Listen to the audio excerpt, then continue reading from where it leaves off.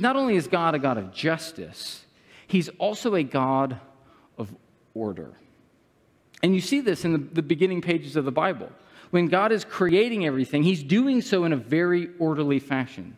Genesis 1 is a very ordered description of how God is trying to bring peace and shalom to the world. But as soon as sin enters the world, God's peace and shalom, his order is destroyed, and there's this downward spiral of death, chaos, and destruction. Because the very next story after sin is Cain and Abel.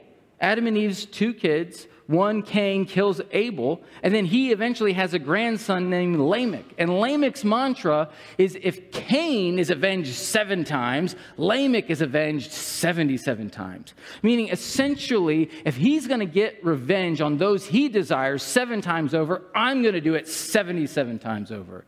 Like capturing that there's this move in humanity to be their own judge and juror meaning I'm going to do what I think is right in my own eyes. I'm going to administer justice the way I think it's fair, and nobody can tell me otherwise.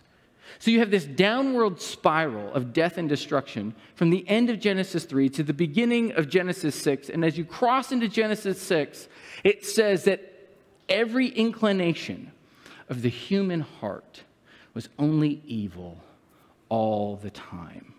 Without governing authorities, it's just chaos and anarchy, and people are going to do what they think is right in their eyes. The book of Judges in the Old Testament captures this perfectly. It's probably one of the darkest, most depressing, bleakest books in the Old Testament. In the very last line of the book of Judges, in chapter 25, verse 21, is that in those days Israel had no king. There was no ruling authority, there was no governing authority in the nation of Israel at that time, and everyone did as they saw fit.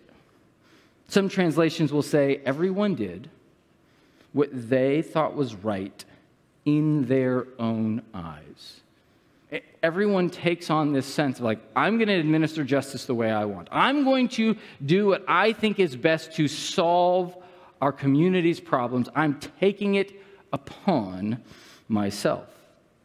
And so Paul is saying that authority is there to maximize good, minimize evil, and ensure that there is order over chaos. That's why he says in verse 5, therefore, you must submit you must submit to governing authorities, not only because of wrath, right? Not just because you're trying to keep your nose clean, but also because of your conscience. Meaning you should have some conviction about it.